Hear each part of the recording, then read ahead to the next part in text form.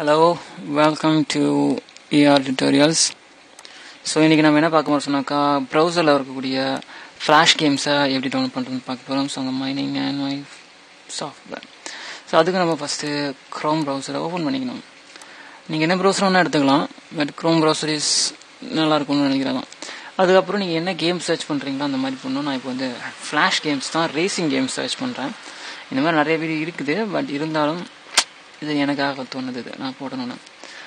Okay then first ரிசல்ட்டை நான் click பண்ணுறேன் ரேசிங் ஃப்ளாஷ் கேம்ஸ் இருக்கிற வெப்சைட் ஸோ இதில் தான் கேம் செலக்ட் பண்ணிக்கோங்க. நியோன் ரேசிங் நல்லா இருக்குல்ல? அதை எடுத்து பார்ப்போம். ஓகே இப்போ உங்களுக்கு நான் எனக்கு லோட் ஆச்சு டக்குன்னு ஒரு சில டைம் லோட் ஆகாது இந்த மாதிரி.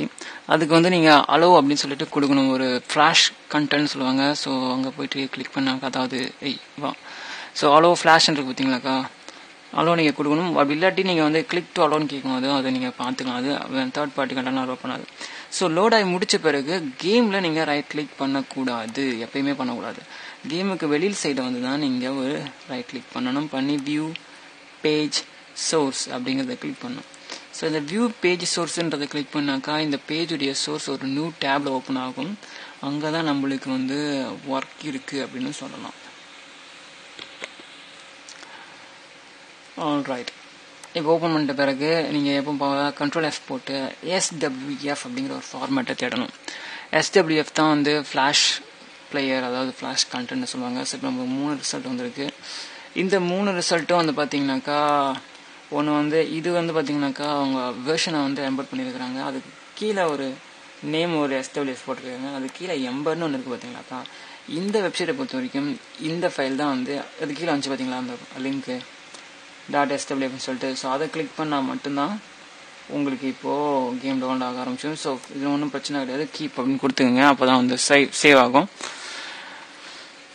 நியூ ஃபார்மேட்டாக இருக்கல இது அதான் கேட்குறது ஸோ சேஃப் ஆகிட்ட பிறகு நீங்கள் வந்து அதை ப்ரௌசர் இப்போ நீங்கள் ஆஃப்லைன் விளாடணும்ல? அதுக்கு என்ன பண்ணுறது அப்படின்னு கேட்டிங்கனாக்கா ஓப்பன் பண்ணிக்கோங்க. ஓப்பன் பண்ணிவிட்டு நியோன் ரைடர் அப்படிங்கிறதான கேமு ஸோ அதை வந்து நீங்கள் எப்பயுமே டபுள் கிளிக் பண்ணிங்கனாக்கா உங்களோட டிஃபால்ட் பிளேயரில் இன்பில்ட்டாக இருக்கக்கூடிய பிளேயர் ஓப்பன் ஆகும் எனக்கு வந்து காம் பிளேயர் வச்சுருக்கேன். ஸோ காமில் ஓப்பன் ஆகுது. ஒரு சில கேம்ஸ் காம்லேயே சரி ஓப்பன் ஆகிடும் ஒரு சில கேம்ஸ் ஓப்பன் ஆகாது. இது வந்து உங்களுக்கு பிளேயர் அப்படிங்கிறதுனால கண்ட்ரோல்ஸ் வருமா அப்படிங்கிறதுலாம் தெரியாது. ஸோ எப்பயுமே பிளேயர்னால் நீங்கள் வந்து வெறும் பணம் பார்க்க மட்டும் யூஸ் பண்ணியிருப்பீங்க ஸோ இதில் கண்ட்ரோல்ஸ்லாம் வரும். ஸோ இதை வந்து நீங்கள் பழையபடியே உங்களுடைய பிசிலே விளையாடணும் அப்படின்னு சொன்னாக்கா அதாவது ப்ரௌசர்லேயே விளையாடணும்னு சொன்னாக்கா திருப்பி அந்த ஃபோல்டருக்கு வாங்க.